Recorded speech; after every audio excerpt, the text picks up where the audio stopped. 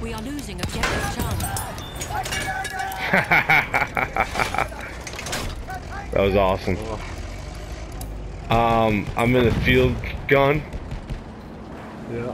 and some guy in a fucking like it's one of those cars, old school cars, was coming at me right as I got done reloading, and I didn't have time to aim or anything. I just fired and blew that son of a bitch up.